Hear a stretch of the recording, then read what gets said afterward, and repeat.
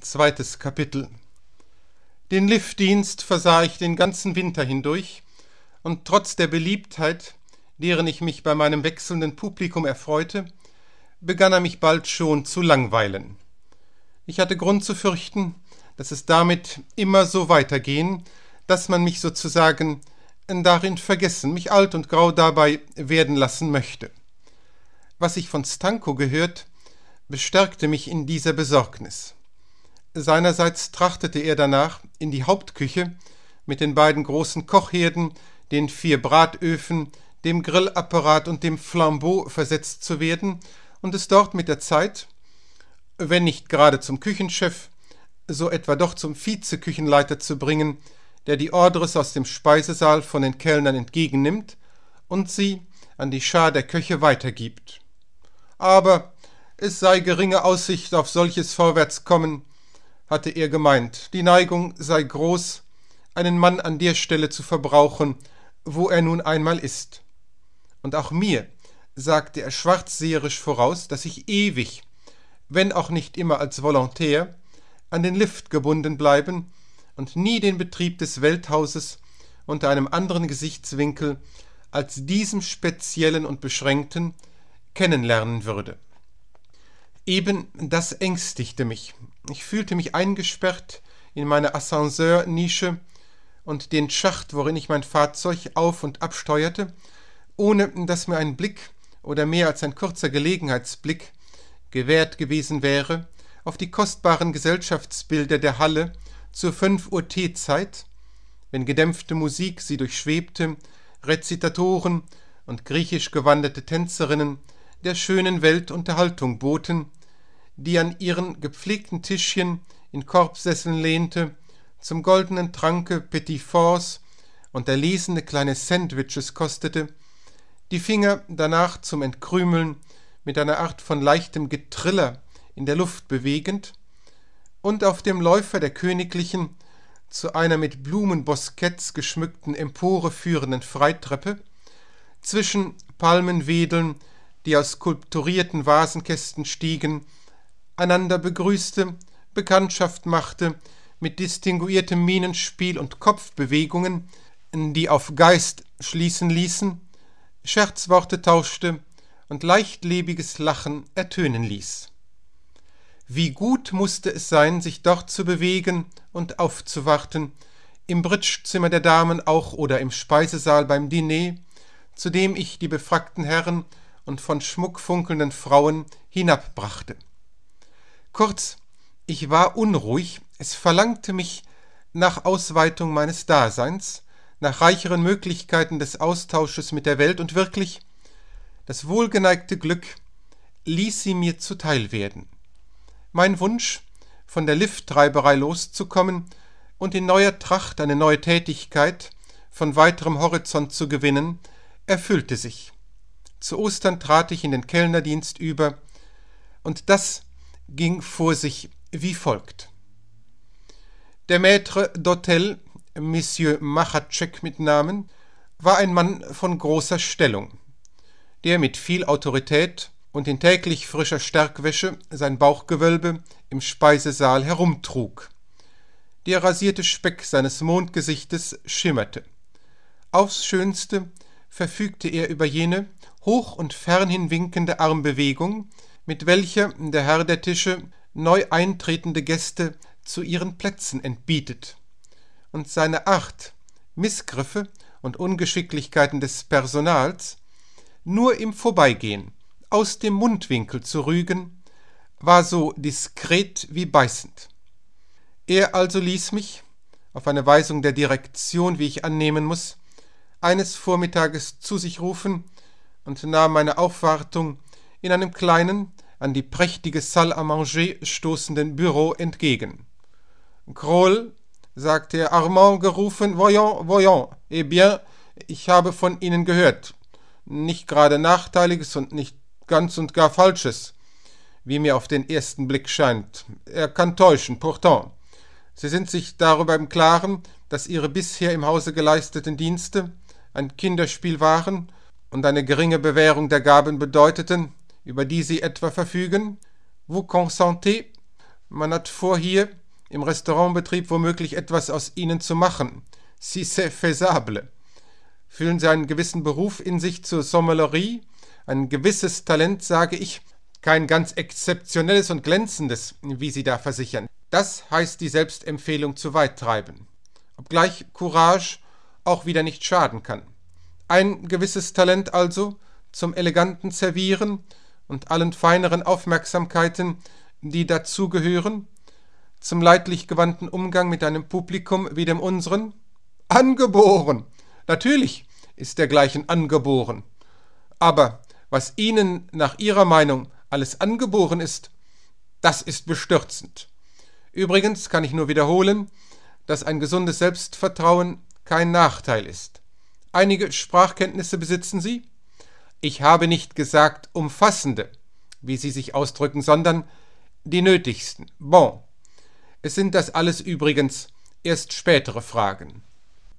Sie stellen sich wohl den Gang der Dinge nicht anders vor, als dass Sie von unten beginnen müssen.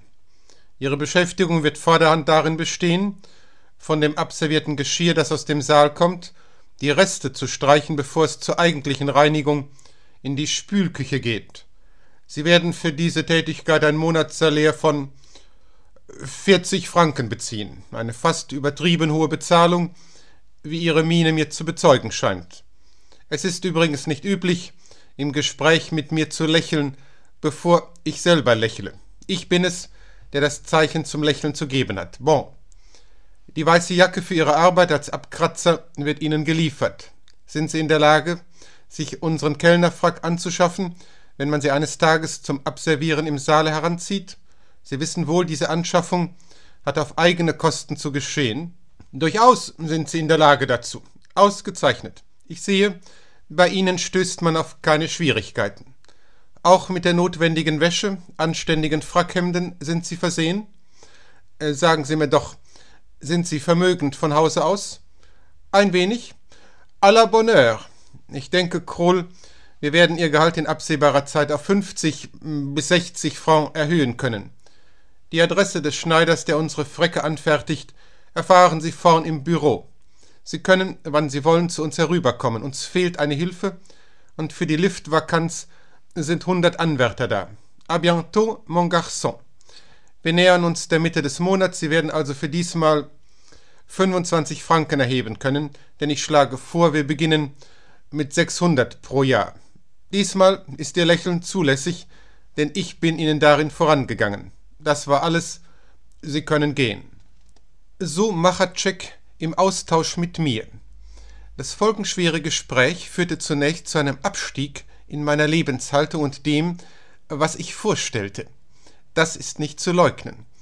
Ich hatte meine Liftboy-Livree im Magazin wieder einzuliefern und erhielt dafür nur eine weiße Jacke, zu der ich mir schleunigst eine brauchige Hose besorgen musste, da ich unmöglich die zu meinem Ausgehanzug gehörige bei der Arbeit abnützen durfte. Diese Arbeit, die Vorreinigung abgespeisten Geschirrs, das Einstreifen des Liegengelassenen im Abfallzuber, war ein wenig erniedrigend im Vergleich mit meiner bisherigen, immerhin edleren Beschäftigung und anfangs auch ekelerregend. Übrigens reichten meine Aufgaben bis in die Spülküche hinein, wo das Service von Hand zu Hand gehend eine Folge von Waschungen durchlief, um bei den Abtrocknern zu landen, zu denen ich mich zeitweise, angetan mit einer weißen Schürze, gesellt fand. So stand ich gleichsam am Anfang und am Ende der Wiederherstellungsprozedur gute Miene zu machen zum Unangemessenen und sich mit den Genossen, denen es angemessen ist, auf einen kordialen Fuß zu stellen, ist nicht schwer, wenn man das Wort vorläufig dabei im Herzen trägt. So gewiss war ich des den Menschen bei allem Bestehen auf Gleichheit tief eingeborenen Sinnes fürs Ungleiche und natürlich bevorzugte, so gewiss ihres Triebes diesem Sinn Genüge zu tun, so überzeugt also, dass man mich nicht lange auf dieser Stufe festhalten werde, ja sie mich eigentlich nur der Form wegen hatte einnehmen lassen, dass ich gleich anfangs schon, gleich nach meinem Gespräch mit Monsieur Machatschek, sobald ich nur frei dafür war, die Bestellung eines Kellnerfrackanzuges à la St. James and Albany, bei dem Uniform- und Livreeschneider getätigt hatte, dessen Atelier sich gar nicht weit vom Hotel in der Rue de Sonorcent befand.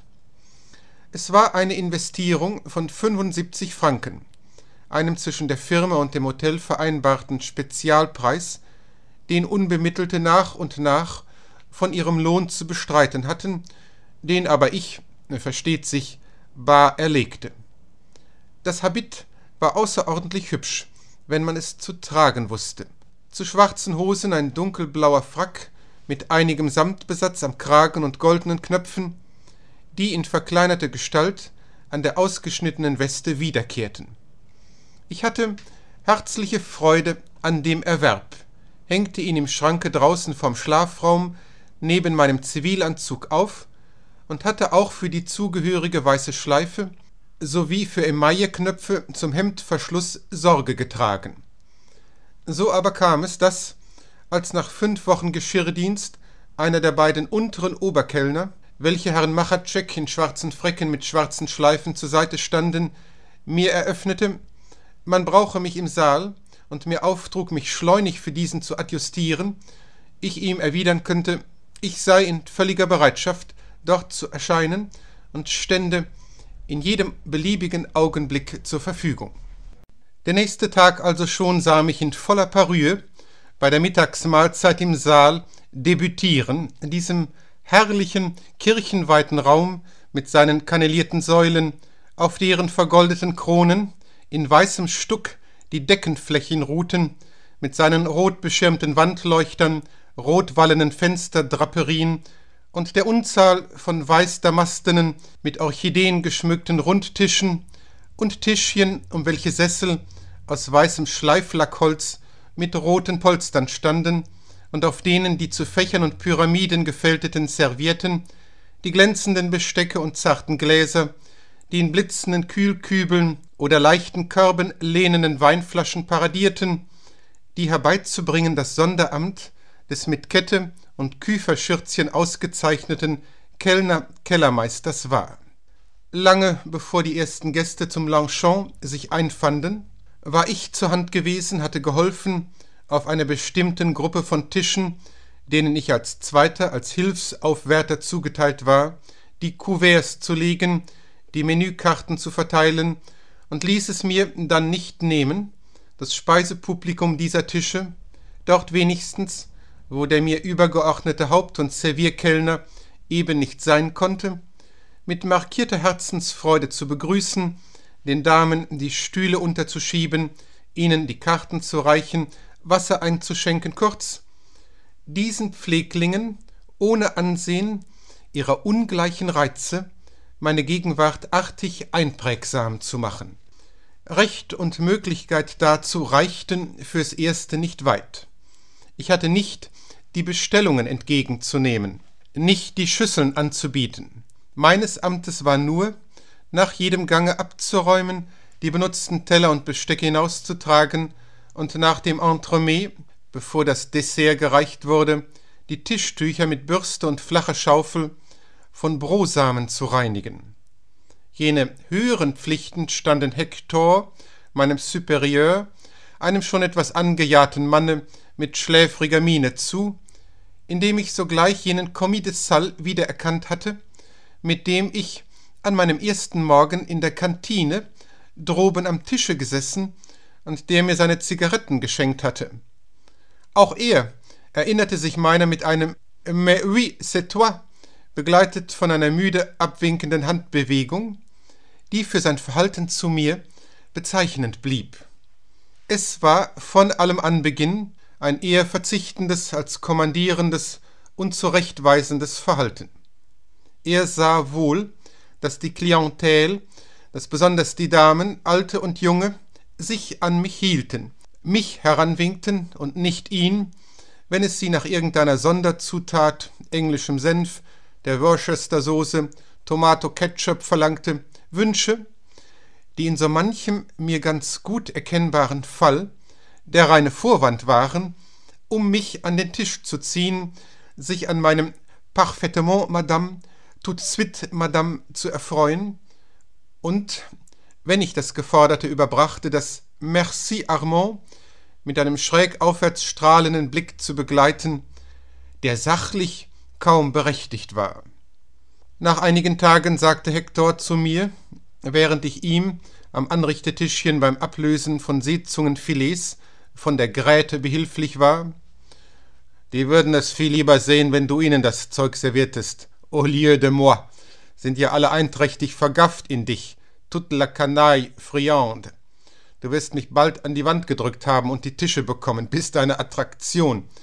Et tu n'as pas l'air de l'ignorer. Die Bonzen wissen es auch und schieben dich vor. Hast du gehört? Natürlich hast du es gehört, wie Monsieur Cordonnier. Das war der Unteroberkellner, der mich geholt hatte, vorhin zu dem schwedischen Ehepaar sagte, mit dem du so lieblich geplaudert hattest, Joli petit charmeur, n'est-ce pas? Tu iras loin, mon cher, mais meilleure voix, ma bénédiction. Du übertreibst, Hektor, erwiderte ich. Ich muss noch viel von dir lernen, bevor ich daran denken könnte, dich auszustechen, wenn das meine Absicht wäre. Ich sagte da mehr, als meine Meinung war. Denn als, an einem der folgenden Tage, während des Dinners, Monsieur Machatschek selbst seinen Bauch zu mir heranschob, neben mir stehen blieb, derart, dass unsere Gesichter nach entgegengesetzten Richtungen gekehrt waren und mir aus dem Mundwinkel zuraunte, nicht schlecht, Armand, Sie arbeiten nicht ganz schlecht. Ich empfehle Ihnen, gut Acht zu geben auf Hektor, wie er es serviert, vorausgesetzt, Sie legen Wert darauf, das auch einmal zu tun. Da antwortete ich ebenfalls mit halber Stimme.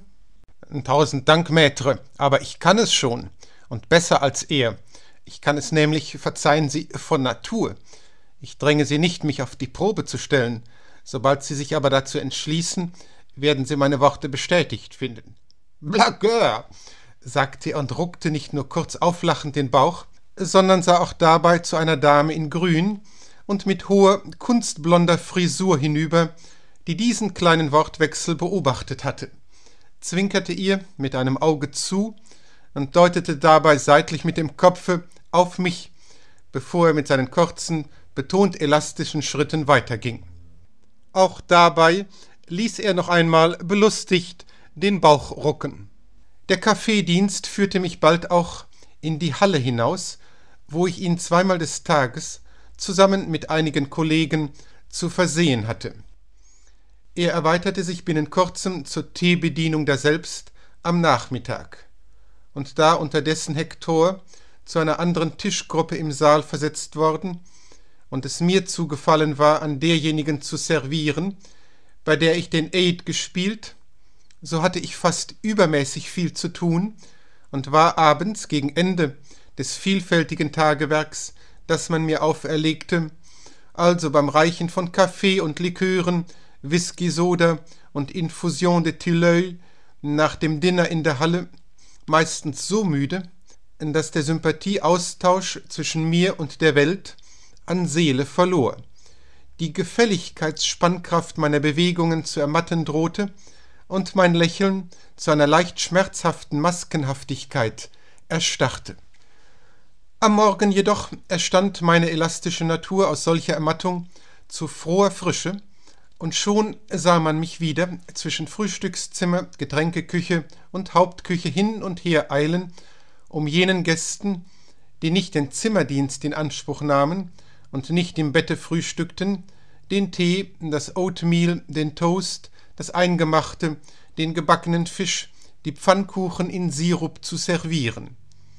Sah mich sodann im Saal mit Hilfe eines Tölpels von zweitem meine sechs Tische zum Lanchon instand setzen, den Damast über die weiche Friesunterlage spreiten, die Kuverts auflegen und von zwölf Uhr an den Schreibblock in der Hand bei denen, die sich zum Speisen eingefunden, Bestellungen entgegennehmen. Wie wohl verstand ich es doch, Schwankende dabei mit der weichen, und diskret zurückhaltenden Stimme, die dem Kellner ansteht, zu beraten, wiewohl allen Darreichungen und Versehungen den lieblosen Charakter des Vorwerfens fernzuhalten, alle vielmehr auf eine Acht zu tätigen, als handle es sich um einen persönlichen Liebesdienst. Gebeugt, eine Hand nach guter Servierschule auf dem Rücken, bot ich meine Schüsseln an, übte zwischen ein, aber auch die freie Kunst, Gabel und Löffel in geschickter Kombination, nur mit der rechten Hand habend, denen, die es liebten, selbst vorzulegen, wobei der Betreute, er oder sie, besonders sie, mit angenehmem Befremden meine tätige Hand beobachten mochte, die nicht die eines gemeinen Mannes war. Kein Wunder denn, alles in allem, dass man, wie Hektor gesagt hatte, mich vorschob, das Wohlgefallen ausnutzte, das mir aus der überfütterten Luxusgesellschaft des Hauses entgegenschlug. Man gab mich ihm preis, diesem mich umbrodelnden Wohlgefallen, und ließ es mein Kunststück sein, es sowohl durch schmelzendes Entgegenkommen anzuspornen, als es auch wieder durch sittige Reserve einzudämmen. Um das Bild reinzuhalten, das diese Erinnerungen dem Leser von meinem Charakter vermitteln, sei Folgendes hier zu meinen Ehren angemerkt. Niemals habe ich eitles und grausames Gefallen gefunden an den Schmerzen von Mitmenschen, denen meine Person Wünsche erregte, welche zu erfüllen die Lebensweisheit mir verwehrte. Leidenschaften, deren Gegenstand man ist, ohne selbst von ihnen berührt zu sein, mögen Naturen, ungleich der meinen, einen Überlegenheitsdünkel von unschöner Kälte oder auch jenen verachtenden Widerwillen einflößen, der dazu verleitet, die Gefühle des anderen ohne Erbarmen mit Füßen zu treten. Wie sehr verschieden bei mir. Ich habe solche Gefühle stets geachtet, sie aus einer Art von Schuldbewusstsein aufs Beste geschont und durch ein begütigendes Verhalten die Befallenen zu verständiger Entsagung anzuhalten gesucht, wofür ich aus der hier abzuhandelnden Periode meines Lebens das zwiefache Beispiel der kleinen Eleanor Twentyman aus Birmingham und des Lord Kilmarnock, eines Angehörigen des schottischen Hochadels, anführen will. Aus dem Grunde, weil beide gleichzeitig spielende Fälle auf unterschiedliche Art Versuchungen darstellten, zum vorzeitigen Ausbrechen aus der gewählten Laufbahn, Lockungen, mich in einen der Seitenpfade zu werfen, von denen mein Pate mir gesprochen, die man aber nicht genug auf ihr Wohin und wie weit prüfen konnte. Twentiments, Vater, Mutter und Tochter, nebst einer Zofe bewohnten mehrere Wochen lang eine Suite im St. James and Albany, was allein auf eine erfreuliche Vermögenslage schließen ließ. Sie wurde bestätigt und unterstrichen durch prachtvolle Juwelen, die Mrs. Twentyman beim Dinner zur Schau trug und um die es, so muss man sagen, schade war. Denn Mrs. Twentyman war eine freudlose Frau, freudlos für den Anschauenden und wahrscheinlich auch nach ihrem eigenen Befinden, welche offenbar durch den Erfolg gekrönten Birminghamschen Gewerbefleiß ihres Gatten aus kleinbürgerlicher Sphäre in Verhältnisse aufgestiegen war, die sich steif und starr machten. Mehr Gutmütigkeit ging aus von Mr. Twentyman mit seinem roten Portweingesicht, doch versiegte seine Jovialität zum besten Teil in der ihn umhüllenden Schwerhörigkeit, von welcher der leerhorchende Ausdruck seiner wasserblauen Augen zeugte. Er bediente sich eines schwarzen Hörrohrs, in das seine Gattin sprechen musste, wenn sie, was selten vorkam, ihm etwas zu sagen hatte, und das er auch mir hinhielt, wenn ich ihn bei seiner Bestellung beriet. Sein Töchterchen, die siebzehn oder achtzehnjährige Eleanor, die ihm an einem Tisch Nummer 18 gegenüber saß, pflegte zuweilen, auch wohl durch sein Winken dazu berufen, aufzustehen und sich zu einer kurzen, durchs Rohr gepflegten Konversation zu ihm hinüber zu verfügen. Seine Zärtlichkeit für das Kind war offensichtlich und gewinnend. Was Mrs. Twentyman betrifft, so will ich ihr mütterliche Gefühle gar nicht abstreiten, aber eher als in lieben Blicken und Worten äußerten sie sich in kritischer Überwachung von Eleanors Tun und Lassen, zu der Mrs. Twentyman öfters die Schildpatt-Lorgnette an die Augen führte, nie ohne etwas an der Frisur der Tochter, an ihrer Haltung zu beanstanden, ihr das Kneten von Brotkügelchen, das Abnagen eines Hühnerbeines aus der Hand, das neugierige Umherblicken im Saal zu verweisen. Und so fort. Aus all dieser Kontrolle sprach eine erzieherische Unruhe und Besorgnis, die Miss Twentyman beschwerlich genug sein mochte, die aber meine ebenfalls beschwerlichen Erfahrungen mit ihr mich zwingen, als ziemlich berechtigt anzuerkennen. Sie war ein blondes Ding, hübsch nach Art eines Zickleins, mit den rührendsten Schlüsselbeinen von der Welt, wenn abends ihr seidenes Kleidchen ein wenig ausgeschnitten war. Da ich von je eine Schwäche für den angelsächsischen Typ gehegt habe, und sie diesen sehr ausgeprägt darstellte, so sah ich sie gern, sah sie übrigens immer fort, bei den Mahlzeiten, nach den Mahlzeiten und bei der Teemusik, zu der die Twentymans, wenigstens anfangs, ebenfalls Platz zu nehmen pflegten, wo ich bediente. Ich war gut zu meinem Zicklein, umgab sie mit der Aufmerksamkeit eines ergebenen Bruders, legte ihr das Fleisch vor brachte ihr das Dessert zum zweiten Mal, versah sie mit Grenadine, die sie sehr gern trank, hüllte zärtlich ihre dünnen schneeweißen Schulterchen in den gestickten Umhang, wenn sie sich vom Dinner erhob, und tat mit all dem entschieden zu viel, versündigte mich unbedacht an diesem nur zu empfänglichen Seelchen, indem ich zu wenig dem besonderen Magnetismus Rechnung trug, der, ob ich wollte oder nicht, ausging von meinem Sein auf jedes nicht völlig stumpfe Mitwesen. Ausgegangen wäre, so wage ich zu behaupten, auf jedes auch dann, wenn meine sterbliche Hülle, wie man's am Ende nennt, mein Lärvchen also, weniger für sich gesprochen hätte. Denn dieses war nur die Erscheinung, das Gebilde tieferer Kräfte, der Sympathie. Kurzum, gar bald musste ich gewahr werden, dass die Kleine sich über und über in mich verliebt hatte. Und das war natürlich nicht meine Wahrnehmung allein, sondern die scharf besorgte Schildpatt Lorinette Mrs. Twentymans erspähte es auch, wie mir ein zischendes Flüstern bestätigte, das sich einmal beim Lunch hinter meinem Rücken vernehmen ließ. Eleanor, if you don't stop staring at that boy, I'll send you up to your room and you'll have to eat alone till we leave. Ja, leider, das Zicklein beherrschte sich schlecht. Sie kam gar nicht darauf, es zu tun und irgendein Hehl daraus zu machen, dass es um sie geschehen war. Ihre blauen Augen hingen ständig an mir, verzückt und traumverloren, und wenn die meinen ihnen begegneten, so senkte sie wohl, das Gesicht mit Blut übergossen, den Blick auf ihren Teller, hob ihn aber gleich wieder, als dürfe sie es nicht fehlen lassen, gewaltsam aus der Glut ihres Angesichtes hingebend zu mir auf.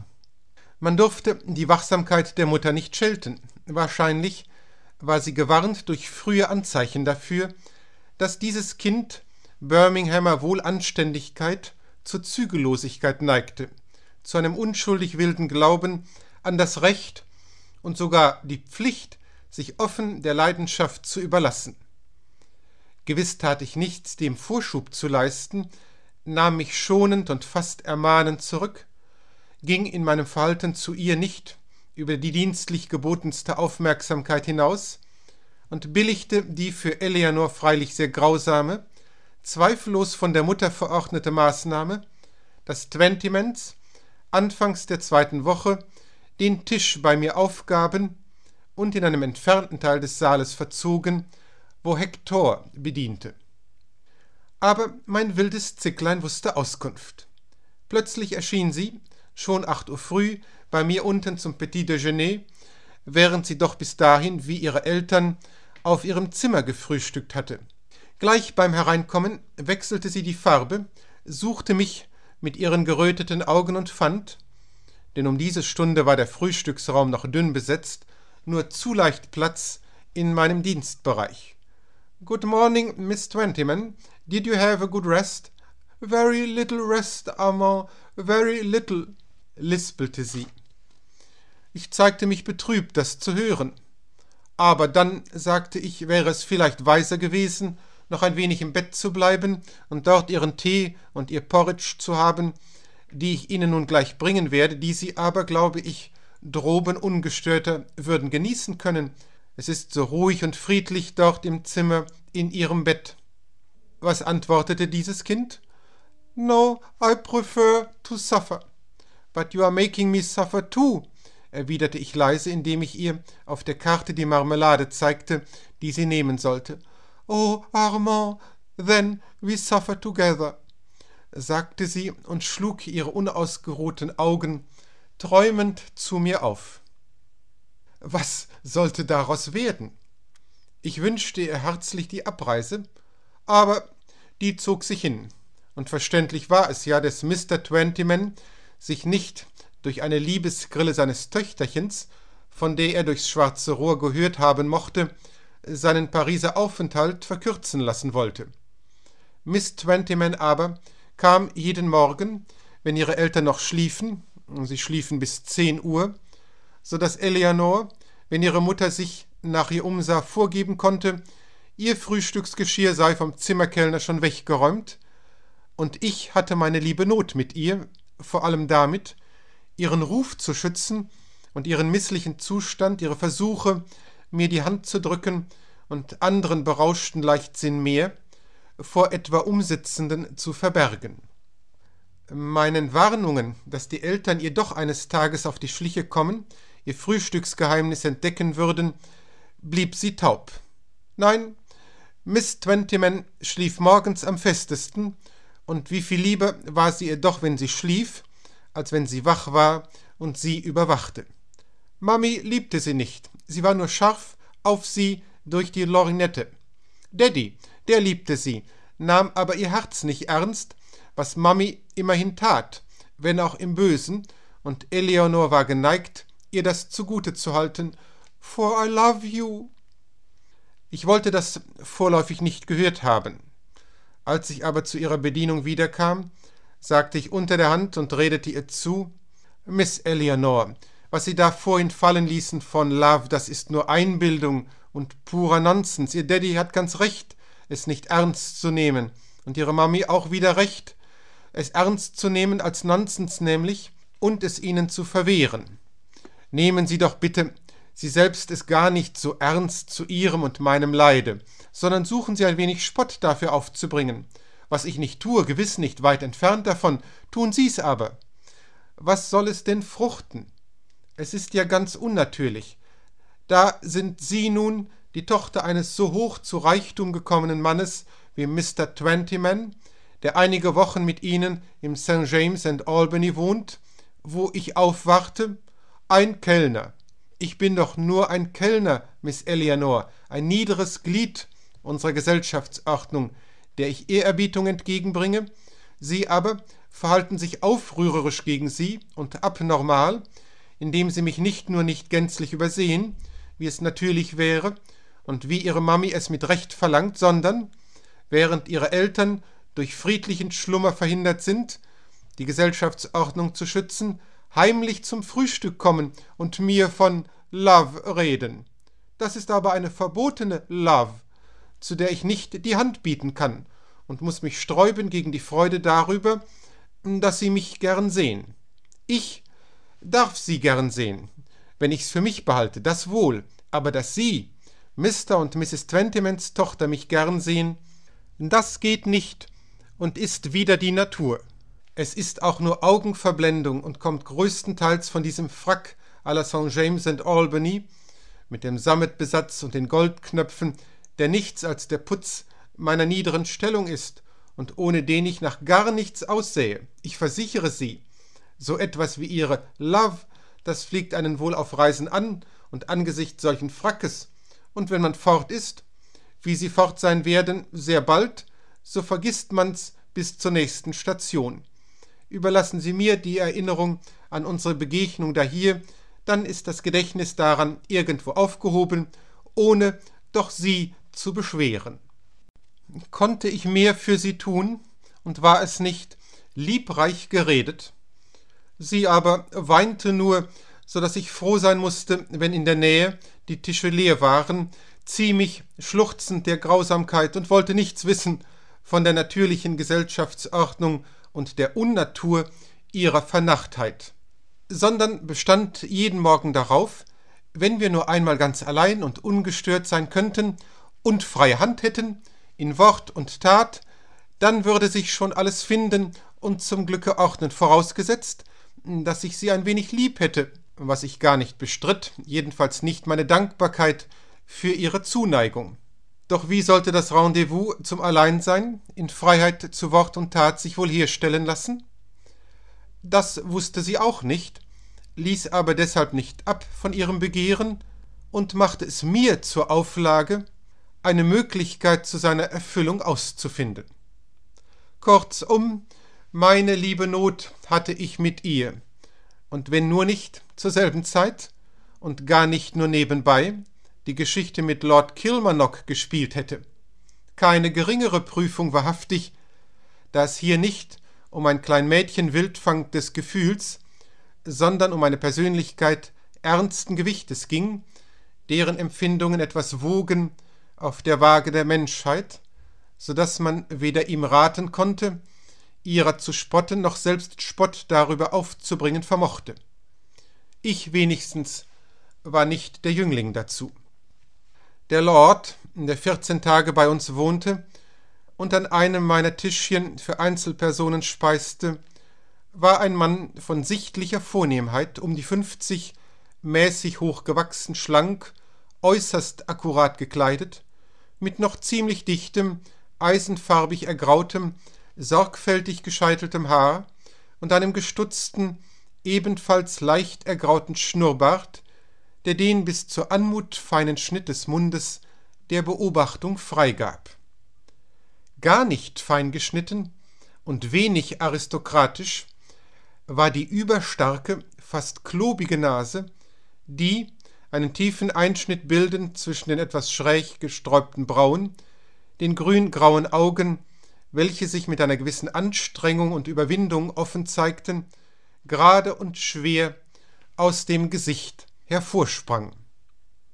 War dies zu bedauern, so erfreute wiederum die stets peinlich saubere, letzte Weichheit erzielende Rasur von Wangen und Kinn, die überdies von einer Creme glänzten, mit der der Lord sich nach der Säuberung einrieb. Fürs Taschentuch benutzte er ein Veilchenwasser, dessen Duft von unglaublicher, mir sonst nie vorgekommener Natürlichkeit und Frühlingsfrische war. Sein Eintritt in den Saal war immer von einer Befangenheit, die bei einem so großen Herrn hätte befremden können, seinem Ansehen aber, wenigstens in meinen Augen, keinen Abbruch tat.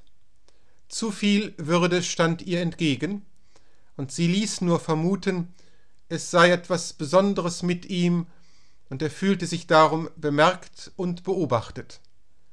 Seine Stimme war sanft, und ich begegnete ihr mit einer noch sanfteren, um zu spät gewahr zu werden, dass das nicht gut für ihn war. Sein Wesen war von der melancholisch umflorten Freundlichkeit eines Mannes, der viel gelitten hat. Und sollte die ein gut gearteter Mensch nicht erwidern, wie ich es zartsinnig pfleglich bei seiner Bedienung tat? Es war aber nicht gut für ihn. Wenig zwar sah er mich an bei den kurzen Bemerkungen über das Wetter, das Menü, auf die sich anfangs beim Service unser Austausch beschränkte, wie er überhaupt seine Augen wenig gebrauchte, sie zurückhielt und schonte, gerade als ob er besorgte, sich durch ihren Gebrauch in Ungelegenheiten zu stürzen.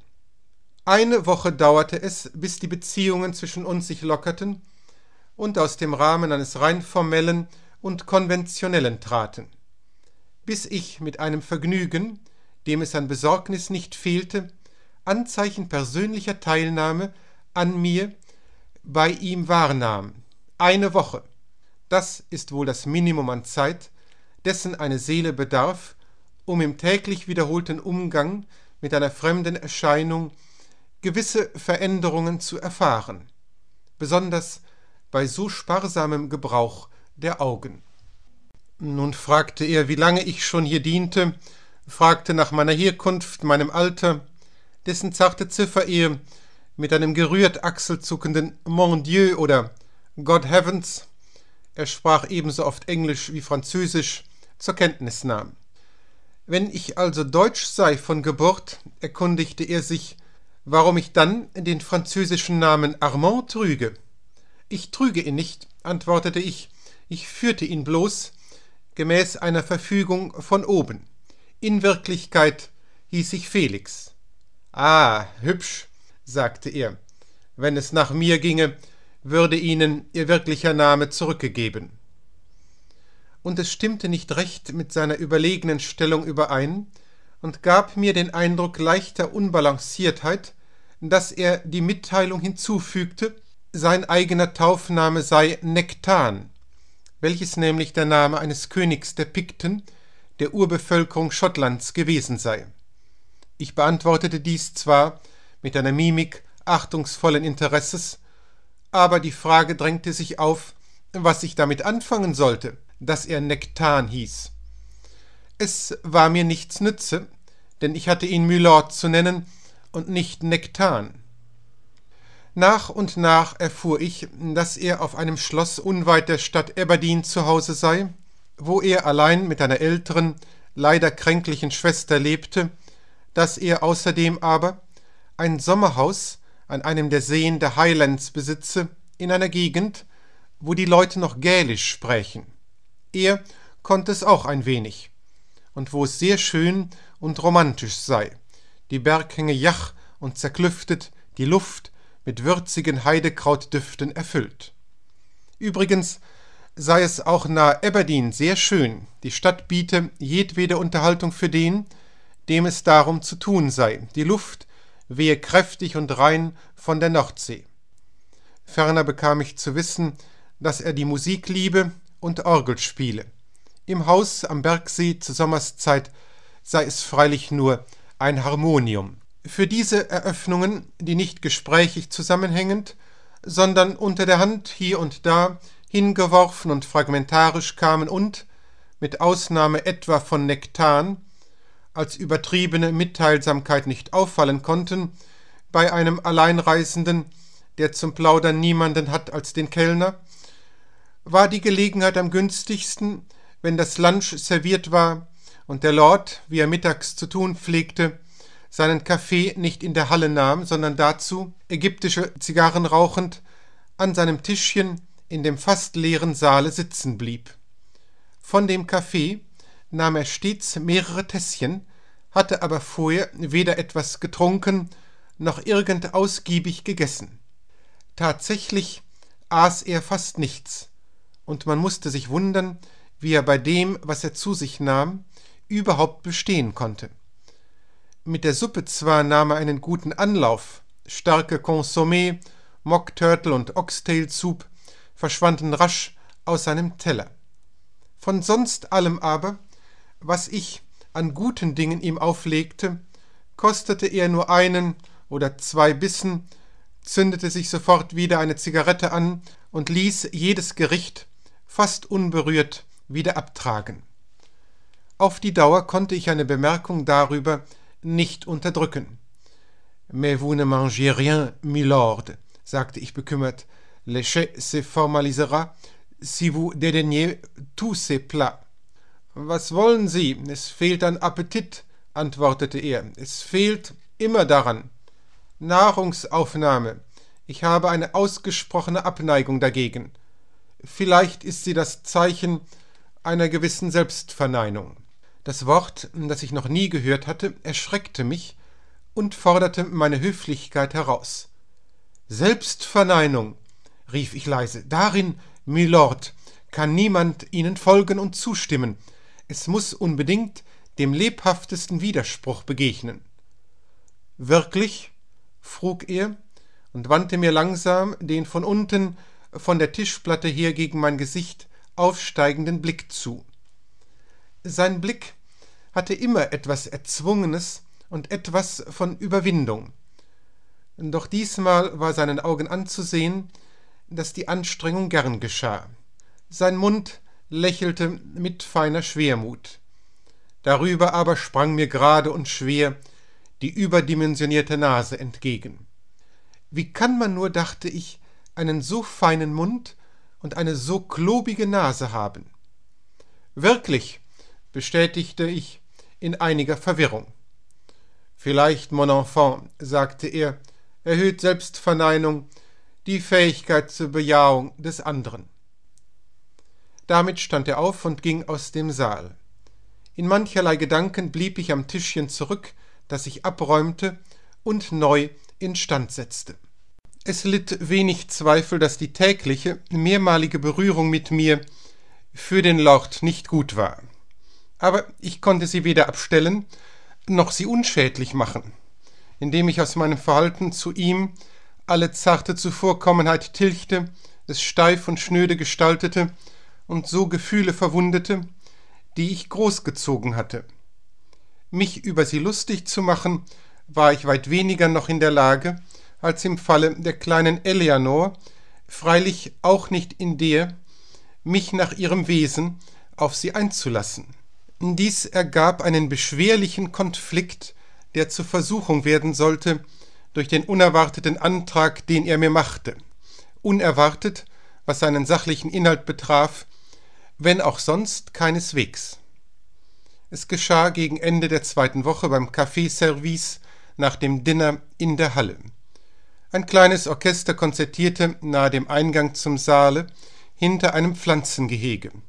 Entfernt davon am anderen Ende des Raumes hatte der Lord ein etwas für sich stehendes Tischchen gewählt, das er übrigens schon mehrmals benutzt und auf das ich ihm seinen Mocker gestellt hatte. Als ich wieder an ihm vorbeiging, verlangte er nach einer Zigarre. Ich brachte ihm zwei Schachteln mit Importen, beringten und unberingten. Er betrachtete sie und sagte Welche soll ich denn nehmen?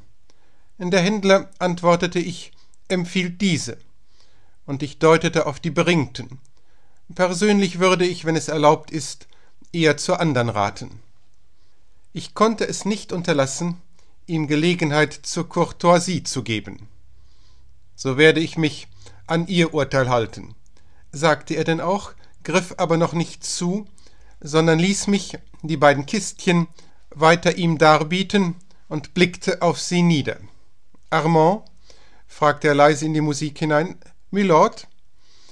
Er änderte die Anrede und sagte Felix, Mylord befehlen? frug ich lächelnd. Sie hätten nicht Lust, kam es von ihm, ohne dass er die Augen von den Zigarren erhoben hätte, den Hoteldienst mit einer Stellung als Kammerdiener zu vertauschen? Da hatte ich es. Wie das, Mylord? fragte ich scheinbar verständnislos. Er wollte gehört haben, bei wem, und antwortete mit leichtem Achselzucken Bei mir, das ist sehr einfach. Sie begleiten mich nach Aberdeen und Schloss Necton Hall. Sie entledigen sich dieser Livree und tauschen ein Zivil von Distinktion dafür ein, das ihre Stellung markiert und sie von der anderen Dienerschaft unterscheidet. Es ist allerlei Dienerschaft da. Ihre Pflichten würden sich ganz auf die Betreuung meiner Person beschränken. Sie würden immer um mich sein, auf dem Schloss und im Sommerhaus in den Bergen. Ihr Salär, fügte er hinzu, wird vermutlich das Doppelte und Dreifache des hier Bezogenen ausmachen. Ich schwieg, ohne dass er mich durch einen Blick zum Reden angespornt hätte. Vielmehr nahm er mir eins der Kistchen aus der Hand und verglich diese Sorte mit der anderen. Das will sehr sorgfältig überlegt sein, Mylord ließ ich mich schließlich vernehmen. Ich brauche nicht zu sagen, dass Ihr Anerbieten mich außerordentlich ehrt, aber es kommt so überraschend. Ich muss um Bedenkzeit bitten. Zum Bedenken, erwiderte er, ist wenig Zeit. Wir haben Freitag. Ich reise im Laufe des Montag. Kommen Sie mit mir. Es ist mein Wunsch. Er nahm eine der von mir empfohlenen Zigarren, betrachtete sie rundherum und führte sie an die Nase. Kein Beobachter hätte erraten können, was er dabei sagte. Er sagte leise Es ist der Wunsch eines einsamen Herzens. Welcher Unmensch will mir meine Ergriffenheit verargen? und dabei wusste ich schon, dass ich mich nicht entschließen würde, diesen Seitenpfad einzuschlagen. Ich verspreche Eurer Lordschaft, murmelte ich, dass ich die gegebene Frist zur Überlegung sorgfältig nutzen werde, und zog mich zurück. Er hat, dachte ich, eine gute Zigarre zu seinem Kaffee. Diese Verbindung ist äußerst behaglich und das Behagen ist immerhin eine mindere Form des Glücks. Mit der muss man sich unter Umständen begnügen. Der Gedanke war ein stiller Versuch, ihm behilflich zu sein, sich zu behelfen. Aber es kamen nun einige sehr bedrückende Tage, denn bei jeder Hauptmahlzeit und auch nach dem Tee blickte der Lord einmal auf und fragte Nun, entweder schlug ich nur die Wimpern nieder und hob die Schultern, als seien sie schwer beladen, oder ich antwortete sorgenvoll Noch bin ich nicht zur Entscheidung gediehen. Sein feiner Mund wurde zusehends bitterer. Aber mochte seine leidende Schwester auch einzig sein Glück im Auge haben, bedachte er die penible Rolle, die ich unter der zahlreichen Dienerschaft, von der er gesprochen, und selbst unter der gälischen Gebirgsbevölkerung zu spielen haben würde? Nicht die Laune des großen Herrn, sagte ich mir, würde der Hohn treffen, sondern das Spielzeug seiner Laune. Insgeheim, bei allem Mitgefühl, beschuldigte ich ihn des Egoismus. Und wenn ich nur nicht außerdem immerfort Eleanor Twentimans Verlangen nach freier Hand zu Wort und Tat im Zaume zu halten gehabt hätte. Beim Sonntagsdinner wurde viel Champagner getrunken im Saal. Der Lord trank zwar keinen, aber bei Twentimans drüben knallte der Pfropfen, und ich dachte bei mir, dass das nicht gut sei für Eleanor. Es sollte sich die Berechtigung dieser Sorge erweisen. Nach Tische, wie gewöhnlich, servierte ich Kaffee in der Halle, an welche, getrennt von ihr durch eine mit grüner Seide bespannte Glastür, ein Bibliotheksraum mit Lederfauteuils und langen Zeitungstisch stieß. Sehr wenig war das Zimmer benutzt. Nur morgens saßen dort meistens einige Leute und lasen die neu ausgelegten Blätter. Man sollte diese eigentlich nicht aus der Bibliothek entfernen, aber jemand hatte das Journal des Débats mit in die Halle genommen und es beim Weggehen auf dem Stuhl an seinem Tischchen liegen lassen. Ich rollte es ordnungsliebend um seine Stange und trug es ins leere Lesezimmer hinüber. Eben hatte ich es auf dem Langtisch in Reih und Glied versorgt, als Eleanor sich einfand und klar bewies, dass ein paar Gläser Moet Chandon ihr den Rest gegeben hatten. Sie kam auf mich zu, schlang mit Zittern und Beben die bloßen Ärmchen um meinen Hals und stammelte Armand, I love you so desperately and helplessly, I don't know what to do. I am so deeply, so utterly in love with you that I am lost, lost, lost. Say, tell me, do you love me a little bit too? For heaven's sake, Miss Eleanor, be careful. Somebody might come in, for instance, your mother. How on earth did you manage to escape her? Of course, I love you, sweet little Eleanor. You have such moving collarbones. You are such a lovely child in every way. But now, get your arms off my neck and watch out. This is extremely dangerous. What do I care about danger? I love you. I love you, Armand. Let's flee together. Let's die together. But first of all, kiss me. Your lips. Your lips. I'm parched with thirst for your lips. Nein, dir, Eleanor, sagte ich, indem ich versuchte, ohne Gewaltanwendung ihre Arme von mir zu lösen. Wir wollen damit nicht anfangen. Ohne dies haben sie Champagner getrunken, mehrere Gläser, wie es scheint, und wenn ich sie nun auch noch küsse, so ist es gänzlich aus mit ihnen. Sie sind dann vernünftigen Vorstellungen überhaupt nicht mehr zugänglich. Ich habe ihnen doch so herzlich vor Augen gehalten, wie unnatürlich es ist für die Tochter eines durch Reichtum hochgestellten Elternpaares wie Mr. und Mrs. Twentyman sich in den ersten besten Kellnerburschen zu vernarren. Es ist die reine Verirrung, und sollte sie auch ihrer Natur und Anlage entsprechen, so müssen sie sie doch um des gesellschaftlichen Naturgesetzes und der guten Sitte willen überwinden. Nicht wahr? Nun sind Sie ein gutes, verständiges Kind und lassen mich los und gehen zu Mami? Oh, Armand, was sind Sie so kalt, so grausam und haben doch gesagt, dass Sie mich ein wenig lieben? Zu Mami? Ich hasse Mami und sie hasst mich. Aber Daddy, der liebt mich und ich bin sicher, dass er sich in alles finden wird, wenn wir ihn vor vollendete Tatsachen stellen. Wir müssen nur einfach fliehen. Fliehen wir diese Nacht mit dem Express zum Beispiel nach Spanien, nach Marokko.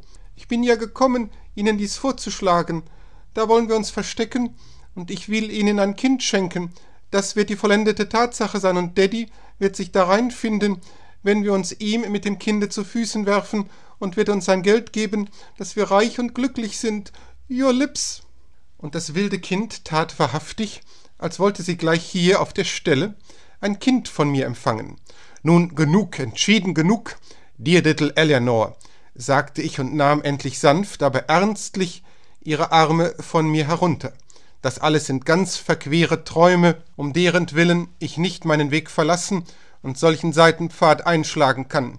Es ist gar nicht recht von Ihnen und stimmt wenig mit der Versicherung Ihrer Liebe überein, dass Sie mir so zusetzen mit Ihrem Anliegen und mich durchaus in die Quere locken wollen, wo ich's doch ohne dies schwer und noch andere Sorgen, noch anderweitig meine liebe Not habe, als nur mit Ihnen. Sie sind recht egoistisch, wissen Sie das wohl? Aber so seid ihr alle, und ich zürne Ihnen nicht, sondern danke Ihnen und werde die kleine Eleonor nicht vergessen. Jetzt aber lassen Sie mich meinem Dienst nachgehen in der Halle. Oh, oh, weinte sie los, no kiss, no child, poor unhappy me, poor little Eleanor, so miserable and disdained. Und die Händchen vorm Gesicht warf sie sich in einen Ledersessel und schluchzte herzbrechend. Ich wollte zu ihr treten, um sie tröstlich zu streicheln, bevor ich ging, das aber war einem anderen vorbehalten. Es kam nämlich in diesem Augenblick jemand herein. Nicht irgendjemand, es war Lord Kilmarnock von Necton Hall. In seinem vollkommenen Abendanzug, die Füße nicht in Lack, sondern in mattes, schmiegsames Lammleder gekleidet, die Rasur blinkend von Crème, trat er ein, die schwer starrende Nase voran. Den Kopf ein wenig zur Schulter geneigt, betrachtete er unter seinem schrägen Brauen, sinnend die in ihre Hände weinende, trat zu ihrem Stuhl und streichelte ihr mit dem Fingerrücken mildtätig die Wange. Mit überschwemmten Augen und offenen Mundes sah sie verblüfft zu dem Fremden auf, sprang vom Stuhl und lief wie ein Wiesel durch die andere Tür, die der Glastür entgegengesetzte, hinaus. Sinnend wie zuvor blickte er ihr nach. Dann wandte er sich mit Ruhe und vorzüglichem Anstand zu mir. Felix, sprach er, der letzte Augenblick zur Entscheidung ist gekommen. Ich reise morgen, schon früh. Noch in der Nacht müssten Sie Ihre Habe packen, um mich nach Schottland zu begleiten. Welches ist Ihr Entschluss?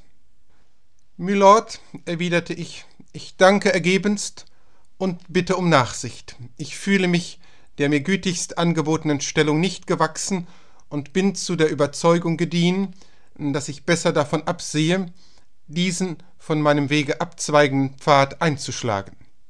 Ich kann, sagte er hierauf, was Sie von Unzulänglichkeit vorgeben, nicht ernst nehmen. Im Übrigen, setzte er hinzu und warf einen Blick auf die Ausgangstür, habe ich den Eindruck, dass Ihre Angelegenheiten hier abgeschlossen sind. So nahm ich mich zusammen, ihm zu antworten Ich muss auch diese hier abschließen und darf Eurer Lordschaft recht glückliche Reise wünschen. Er senkte das Haupt und hob es nur langsam wieder, um mir nach seiner Art, die voller Selbstbezwingung war, in die Augen zu blicken. Felix, sagte er, Sie fürchten nicht, die größte Fehlentscheidung Ihres Lebens zu treffen? Eben das fürchte ich, Mylord, und daher mein Entschluss weil Sie sich der Stellung, die ich Ihnen biete, nicht gewachsen fühlen? Ich sollte mich sehr täuschen, wenn Sie nicht mit mir in dem Gefühl übereinstimmten, dass Sie noch für ganz andere Stellungen geboren sind. Meine Anteilnahme an Ihnen eröffnet Möglichkeiten, die Sie bei Ihrem Nein nicht in Rechnung stellen. Ich bin kinderlos und Herr meiner Handlungen. Es gibt Fälle von Adoption. Sie könnten eines Tages als Lord Kilmarnock und Erbe meiner Besitzungen erwachen. Das war stark. Er ließ wahrhaftig alle Minen springen. In meinem Kopfe tummelten sich die Gedanken, aber zur Zurücknahme meiner Absage ordneten sie sich nicht. Es würde eine missliche Lordschaft sein, die seine Anteilnahme mir da in Aussicht stellte, misslich in den Augen der Leute und nicht von der rechten Durchschlagskraft. Aber das war nicht die Hauptsache. Die Hauptsache war, dass ein Instinkt seiner selbst sehr sicher Partei nahm in mir gegen eine mir präsentierte und obendrein schlackenhafte Wirklichkeit zugunsten des freien Traumes und Spieles, selbst geschaffen und von eigenen Gnaden, will sagen, von Gnaden der Fantasie. Wenn ich als Knabe erwacht war mit dem Beschluss, ein achtzehnjähriger Prinz namens Karl zu sein, und an dieser reinen und reizenden Erdichtung, solange ich wollte, in Freiheit festgehalten hatte, das war das Rechte gewesen und nicht, was dieser Mann mit der starrenden Nase mir in seiner Anteilnahme bot. Ich habe sehr rasch abgekürzt und mit der Eile, die damals meine Gedanken antrieb, zusammengefasst, was in mir vorging. Ich sagte fest, Verzeihen Sie, Mylord, wenn ich meine Antwort auf die Wiederholung meiner besten Reisewünsche beschränke. Da erbleichte er, und plötzlich sah ich sein Kinn erzittern. Der Unmensch, wo ist er, der mich schilt, weil bei diesem Anblick auch mir die Augen sich röteten, vielleicht sogar feuchteten, aber nein, doch wohl nur etwas röteten. Anteilnahme ist Anteilnahme.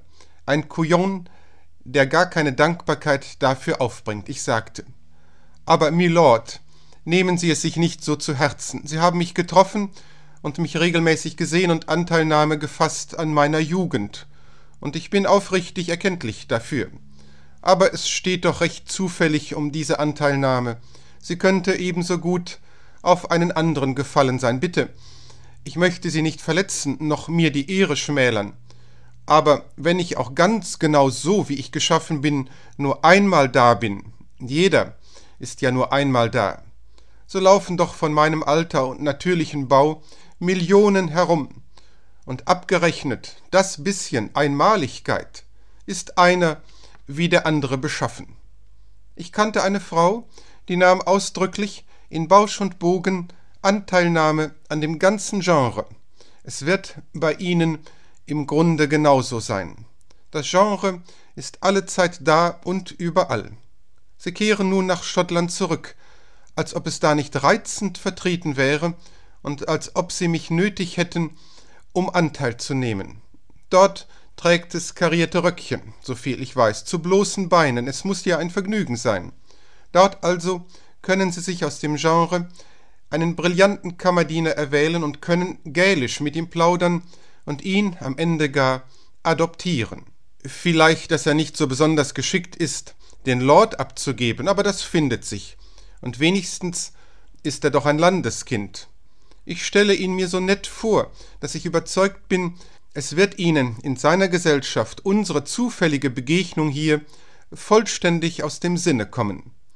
Lassen Sie die Erinnerung daran meine Sache sein. Bei mir ist sie wohl aufgehoben denn ich verspreche Ihnen, dass ich dieser Tage, in denen ich Sie bedienen und Sie bei der Zigarrenwahl beraten durfte, und des gewiss flüchtigen Anteils, den Sie an mir nahmen, allezeit mit der wärmsten Ehrerbietung gedenken werde. Und essen Sie auch mehr, Mylord, wenn ich bitten darf, denn was die Selbstverneinung betrifft, darin kann kein Mensch von Herz und Verstand Ihnen zustimmen. So sprach ich, und etwas wohl tat es ihm doch wenn er auch bei meiner Erwähnung dessen im bunten Röckchen das Haupt geschüttelt hatte. Er lächelte ganz so feinen und traurigen Mundes wie damals, als ich ihm zuerst die Selbstverneinung verwiesen hatte. Dabei nahm er einen sehr schönen Smaragd vom Finger, ich hatte ihn oft an seiner Hand bewundert, und trage ihn diesen Augenblick, während ich die Zeilen hier verfasse. Nicht, dass er ihn mir an den Finger steckte, er tat das nicht, sondern gab ihn mir eben nur und sagte, sehr leise und abgebrochen Nehmen Sie den Ring. Ich wünsche es. Ich danke Ihnen. Leben Sie wohl. Dann wandte er sich und ging. Nicht genug kann ich die Dezenz dieses Mannes dem Publikum zur Würdigung empfehlen. Und so viel denn also von Eleanor Twentyman und Nectar Lord Kilmarnock.